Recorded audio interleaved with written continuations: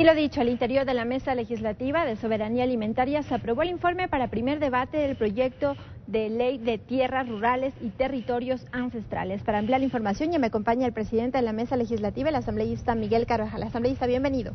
Buenas noches, un saludo cordial.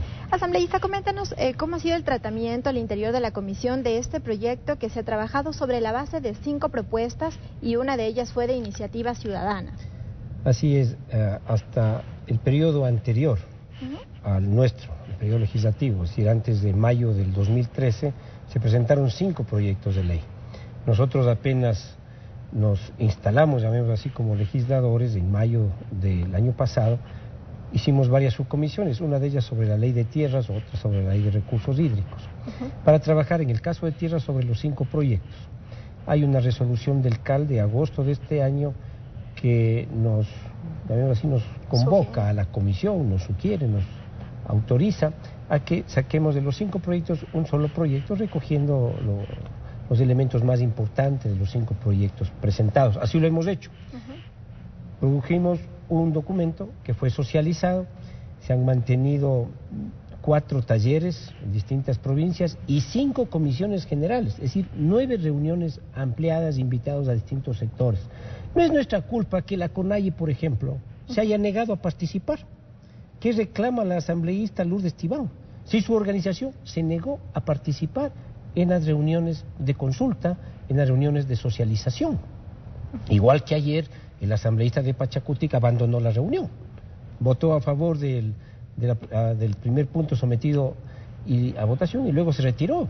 No es nuestra culpa que en reuniones anteriores los asambleístas de Pachacutic hayan aprobado el texto con el cual salimos, digo salimos la comisión, a hacer los procesos de socialización. Es decir, que la comisión... Ellos aprobaron, pero no es mi culpa que el asambleísta Humajinga no haya ido a una sola de las reuniones de socialización y que la CONAIE se haya autoprohibido hablar en las reuniones de socialización.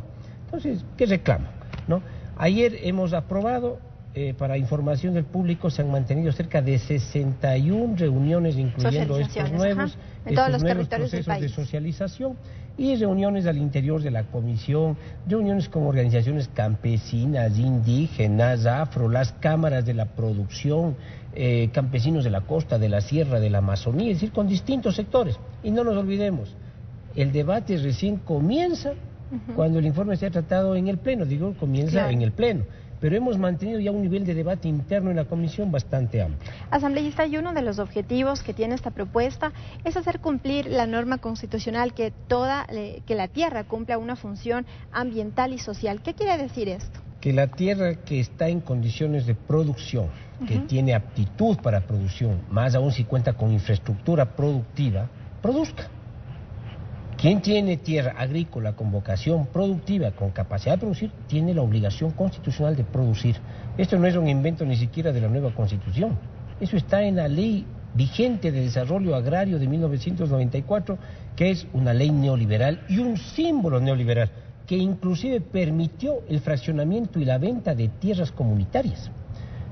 Cumplir la función social es hacer que la tierra produzca.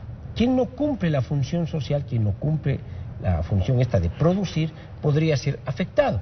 Pero quedan exentos, exentos, y esto es muy importante, de esta posibilidad de afectación, ¿quiénes? Tienen tierra comunitaria, o territorios indígenas, o afrodescendientes, o montubios, porque las comunas no pueden ser afectadas. Y dos, quedan exentos los agricultores familiares, es decir, quedan exentos el más del 92% de los propietarios agrícolas del país. ¿Por qué esta excepción en el caso de agricultores familiares? Porque son quienes viven de la agricultura. Son los que proveen al mercado entre el 65 y el 70% de lo que consumimos diariamente los ecuatorianos. Más bien en esos sectores lo que hay que hacer es fomentar el apoyo del Estado, como está haciendo la ley, a través de infraestructura de riego, de crédito, etcétera. ¿Contra quiénes es? Contra quienes mantienen grandes propiedades con capacidad de producir y no están produciendo, que están especulando con el precio de la tierra. ¿Y qué pasará, por ejemplo, con los terrenos o las tierras que no estén sometidos a producción? Bueno, pues en los, en los casos de las propiedades superiores a 25 hectáreas en la sierra o a 75 hectáreas en la costa, en la Amazonía o en las estribaciones superiores, habrá una notificación de la autoridad agraria diciéndole, mire, usted no está produciendo, produzca. Y a partir de la notificación tendrán un año de aprobarse la propuesta para poner a producir en condiciones adecuadas, es decir, por lo menos en promedio con la productividad de su zona, ¿no? Y si no producen o no logran esos, esos niveles de productividad, tendrán seis meses adicionales para mejorar sus condiciones, porque puede haber distintos factores, condiciones climáticas, circunstancias personales, familiares, bancarias, que son absolutamente justificables. Pero esto es en los casos en que se tiene tierra con capacidad de producir y a pesar de las notificaciones no se produce. Entonces, en esos casos se podrá afectarlas. De que también se resalta eh, que no necesariamente puede ser eh, producción agrícola, sino también puede ser una manera de conservar la naturaleza. Es decir, cuando es producción agrícola tienen que hacerlo bien, es decir, sin contaminar el suelo, el agua, el aire de manera adecuada. Por eso tiene que cumplir también la función ambiental. Pero no vamos a cometer el error de los años 60 en que se le entregaba 50 hectáreas a un campesino y se le decía, le damos el título si usted trabaja. ¿Qué significaba trabajar la tierra? Tumbar al menos la mitad del bosque. No. Si usted tiene una propiedad de 100 hectáreas y la mitad, o sea, 50 hectáreas están en conservación, están en bosque, en buena hora. En buena hora. Esta ley promueve, estimula la conservación de los recursos naturales. Pero las otras 50 hectáreas que está produciendo, tiene que producir. Pero si usted tiene una vaca en 50 hectáreas y sus vecinos tienen 25, le vamos a decir, vea, no sea malita, ponga más vacas a producir leche. Asambleísta, y también de ahí que se fijó la unidad mínima de producción familiar, un tema que estuvo bastante analizado y recogieron las observaciones de los diferentes agricultores y de todos los pueblos diversos que existen aquí en el país. Permítale una, una precisión, no se establece una unidad mínima familiar, no. Lo que la ley crea es la unidad productiva familiar, que es una unidad de medida. ¿Qué superficie se necesita para garantizar que una familia campesina pueda trabajar la tierra, es decir, tenga trabajo, ¿no? Y pueda generar ingresos, al menos, al menos dos salarios mínimos. ¿Ya? Esa es una unidad, es una unidad que nos sirve para la redistribución, para la redistribución de la tierra pública. Pero nosotros estamos proponiendo que puede servir también para determinar los máximos que puede tener, por ejemplo, un extranjero en tierra. Los máximos. Al asambleísta Majinga le molesta que se regule la propiedad de los extranjeros. Nosotros creemos que hay que tener alguna norma para regular, pues. En este momento no hay ninguna norma. Yo no sé por qué les molesta tanto, tanto que abandonaron la reunión, pero creemos que hay que tener alguna norma, ¿no? Sirve para regular las extensiones máximas del latifundio que estamos definiendo como una gran propiedad improductiva. Y que la, ley autoridad agraria deberá determinar cuánto de extensión máxima según las unidades de producción familiar en tal zona, con riego, sin riego, con más humedad, con menos humedad, cuánto de máxima se puede tener para evitar la concentración de tierras. Y esto dependerá de dónde estén ubicados. Y la concentración de claro la ley tiene que definir qué es latifundio y qué es concentración. Estos límites estarán fijados de acuerdo a la zona en donde se encuentre la tierra y la producción. Obviamente no será igual en la costa que en la sierra o en la Amazonía. Así es, porque en una de las propuestas, por ejemplo, de organizaciones campesinas, decían el máximo 200 hectáreas en la sierra y 500 hectáreas máximo en la costa y Amazonía. Pero surge la pregunta, ¿200 hectáreas en qué parte de la sierra? ¿A 3.000 metros de altura?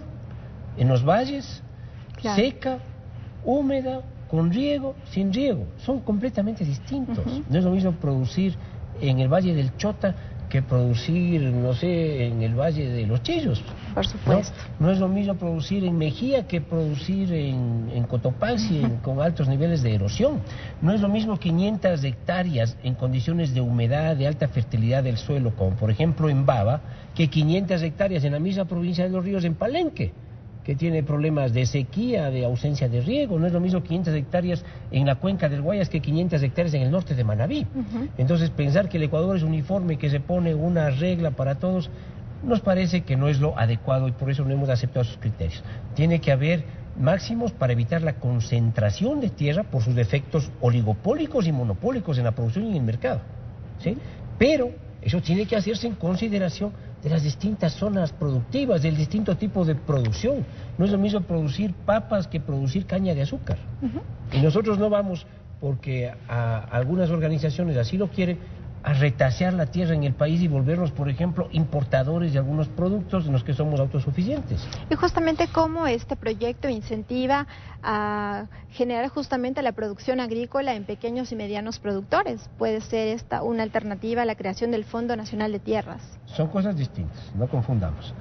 La ley promueve y provoca la, la ampliación del escenario legal para que la autoridad agraria pueda, por ejemplo, tomar medidas y llevar recursos para mejorar la infraestructura de riego parcelario. Eso es mejorar la producción y la productividad. Y que no le llamen al ministro de Contraloría de decirle, ¿y usted por qué gastó en riego parcelario? ¿No es cierto? Permite la ley fomentar redes de comercialización. Permite las reinversiones en definitiva para mejorar la producción y la productividad agraria, sobre todo de los pequeños y medianos productores. Eso tiene que ver con la producción. El Fondo Nacional de Tierras que manda la Constitución es un fondo administrado por una entidad pública financiera para permitir la compra de tierras públicas. ¿A quiénes? A campesinos que estén bajo el nivel de pobreza, que no tengan tierra o que tengan tierras en muy mala calidad, que no les permite producir. Por ejemplo, hay muchas comunidades indígenas de la provincia de Cotopaxi, de la tierra del asambleísta Lourdes Tibán, que dice que está en contra de la ley de tierras, que tienen tierras, pero de muy malas condiciones, de muy mala calidad. El Fondo Nacional de Tierras permite que manteniendo su tierra comunitaria puedan acceder a tierra productiva. Entonces, ¿por qué está en contra de eso? No sé, tendrá que explicar a sus bases. Finalmente, asambleísta, el informe que aprobó la comisión eh, promueve y recomienda una consulta prelegislativa. ¿Qué implicaría esto? Mire, esto ha sido criterio de muchos asambleístas de la comisión y de fuera de la comisión. Y he oído a algunos de los asambleístas de oposición también sugerir aquello. Nosotros consideramos de que es necesario hacer la consulta prelegislativa porque la ley, en lo que tiene que ver con derechos colectivos, obliga al Estado a reconocer y titular de manera rápida, ágil, oportuna los territorios de pueblos ancestrales, indígenas, afrodescendientes o montubios, y a titular tierras comunitarias. Entonces, se afecta positivamente los derechos colectivos de esos pueblos, así como también está planteando que se reconozca el uso y usufructo que tienen las familias de comunidades sobre propiedades colectivas y que sobre esa base se puedan agilitar créditos para vivienda o créditos para la producción de las familias que son miembros de las comunidades. Eso no afecta los derechos de ellos, fortalece sus derechos.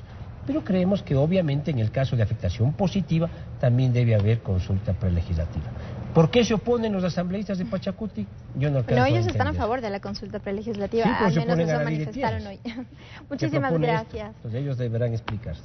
Gracias a la presencia del asambleísta Miguel Carvajal, presidente de la Comisión de Soberanía Alimentaria. Como siempre, bienvenido a la televisión legislativa. Gracias, muy Con esto continuamos contigo, Ricardo, con más información.